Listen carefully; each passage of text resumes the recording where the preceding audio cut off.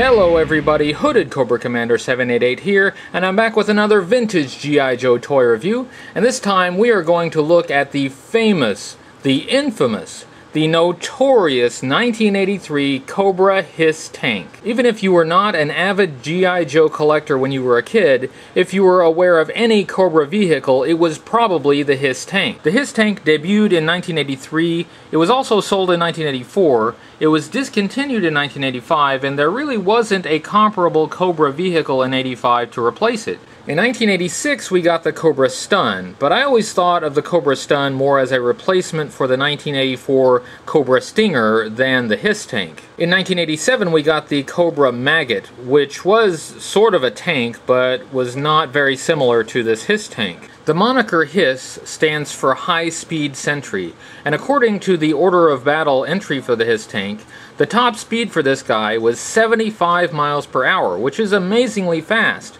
This thing could cook along at highway speeds. I have always associated the Hiss tank with Destro, who also came out in 1983, and who was the Cobra weapons supplier. And I always kind of assumed that Destro designed the Hiss tank. But the Hiss tank did not come with Destro, and this is not a review of Destro, so I'm going to set Destro aside for now. The Hiss tank did come with an action figure, the Hiss tank driver, uh, we will take a closer look at him in a moment, so I'm going to set him aside as well. The Hiss tank obviously is not based on any real-world design. It has these really interesting triangular treads, which is a little bit similar to the World War I tank, the Tank Mark 8. But on the Tank Mark 8, the elevated treads, rather than being underneath the vehicle like this, ran along the sides, which was a more practical design, I think. Another tank that has a raised front bogie, the way the Hiss tank does, is the M50 ONTOS anti-tank vehicle, but that's where the similarity ends. Otherwise, they look absolutely nothing alike. Other than that, I have not been able to find any other real-world weapon system that looks anything like this guy. Let's look at the parts and the features of the Hiss tank. Up in the front, we have what the blueprints call a shell-proof canopy. Uh, it opens up like that. It has a little notch here on the front that uh, that goes in there to secure it. Uh, you kind of have to give it a little squeeze and a push back to pull that notch back in order to lift the canopy. Honestly, I don't care what the blueprints say, there's no way this canopy is shell-proof. Uh, whether it's made out of some kind of glass or any space-age material, I, I don't care. There's no way this thing is going to stop a shell.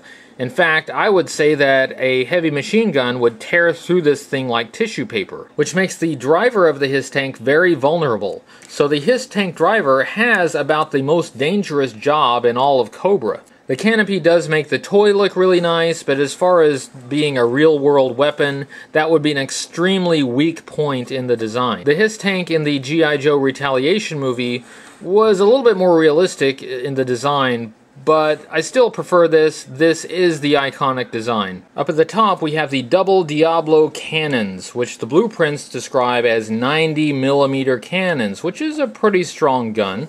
One of the most common problems with the Hiss tank is with these cannons. They tend to develop floppy cannons. They don't stay up like they did when you took them out of the box. Originally, the cannons would ratchet into three positions, the lower position, middle, and the upper position. The ratcheting was accomplished by two tiny pins inside the cannon housing that would run along notches for each level. Those pins were very tiny, very thin, extremely fragile, and they almost always broke.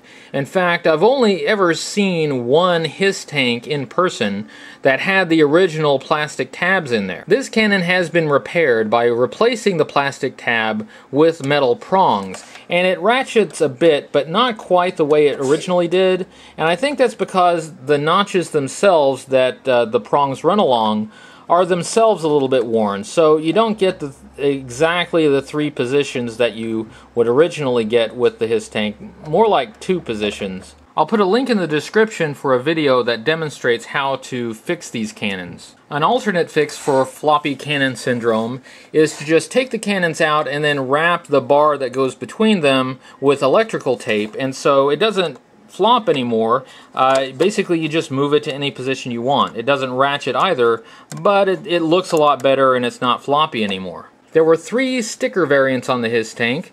The earliest Hiss tanks that came out in 1983 uh, had the 788 with red outline numbers. Later Hiss tanks that were released had those same 788 numbers, but they were solid red. Later still, the HISS tank was offered as a mail-away, and the mail-away HISS tanks had white 788 numbers. Let's look at the turret. You can actually remove the turret by turning it all the way around and just pulling it out. There are two slots there that correspond with these notches on the turret, and it's basically a cup. The gunner stands inside the cup in order to operate the gun. Now there's no hatch, so the gunner cannot retreat inside the tank. So he is exposed up there, but he is less exposed than the infamous Mobat tank, which has the operator uh, halfway out of the tank and just really easy to shoot. Looking at the control panel for the gun turret, we have a sticker on there with some gauges and some pretty decent detail, not too bad. One thing I really like about the turret is that the gunner can stand tall enough that he can still wear his backpack, as Destro is here. So that's convenient. I have Destro, the Baroness, and Major Blood all gunning Hiss tanks. They are all wearing their backpacks and they are not obstructed in any way. These tank treads were fake, of course. They're basically just a solid piece of plastic.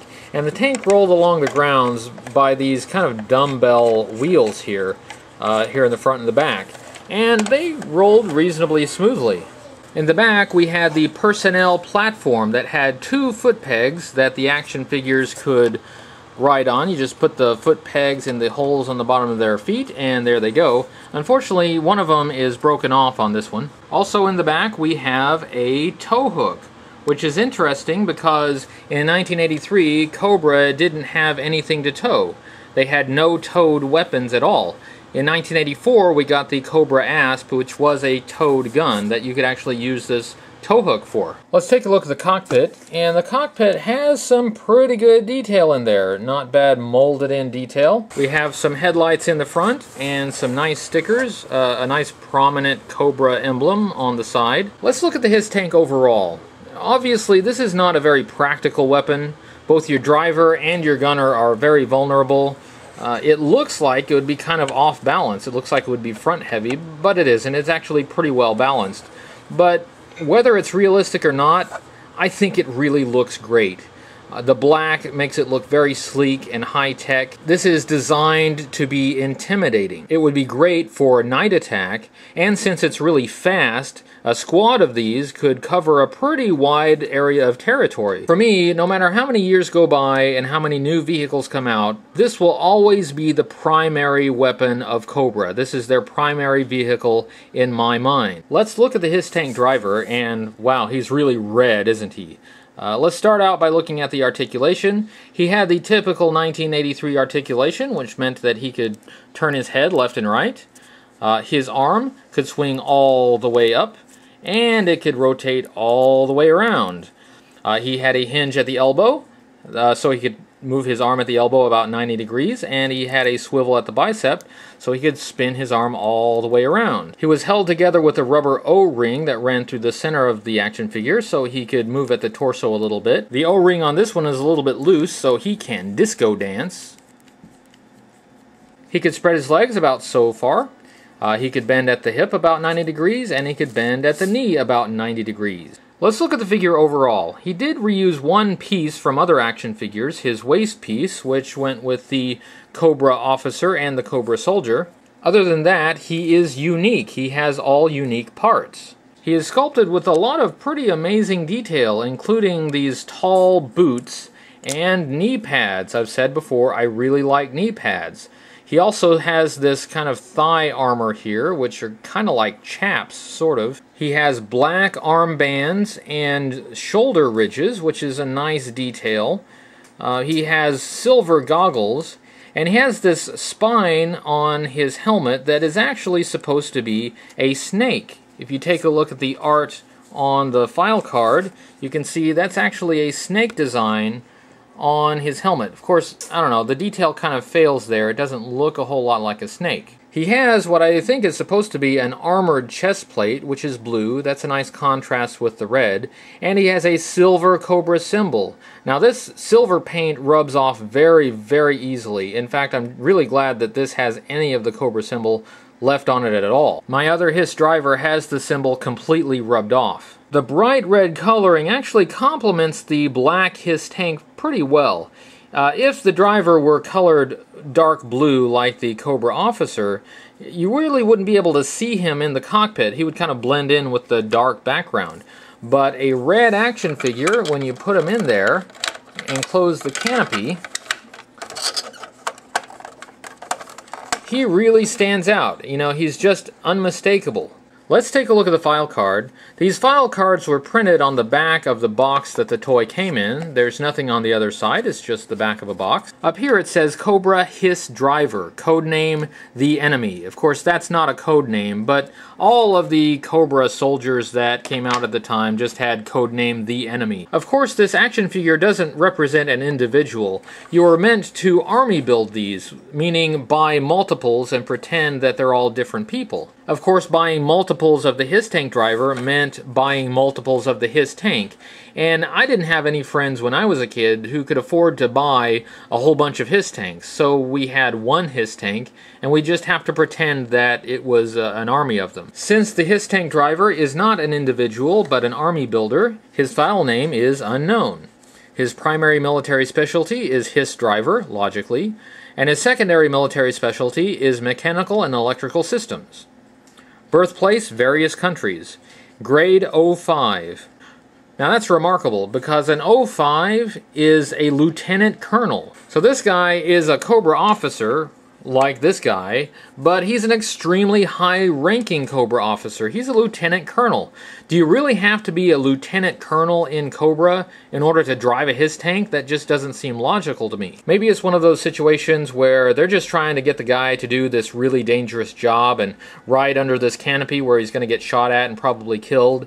So they just tell him, hey, we'll make you a lieutenant colonel You'll get to drive a cool tank and you'll be a lieutenant colonel. Honest. Really, just just jump in there and, and give it a spin. He'll be a lieutenant colonel for about five minutes until he gets blown up. In this section it says, Cobra Hiss drivers are selected from the best and most evil of Cobra Command's thousands of yearly recruits.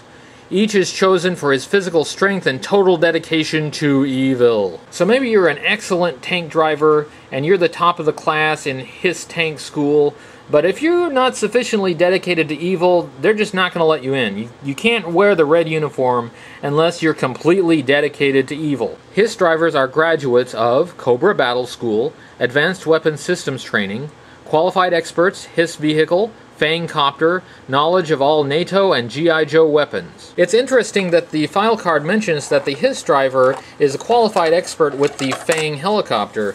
Uh, the Fang helicopter actually did not come with a pilot, and uh, I don't know, maybe the Hiss driver looks pretty good piloting the Fang helicopter. The Fang is also black, like the Hiss tank, and uh, that red may stand out. I don't know. What do you think?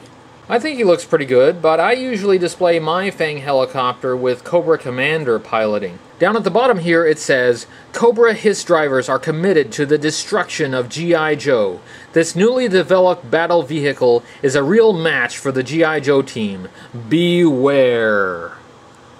Beware. That was my review of the 1983 Cobra Hiss tank and its driver and the file card.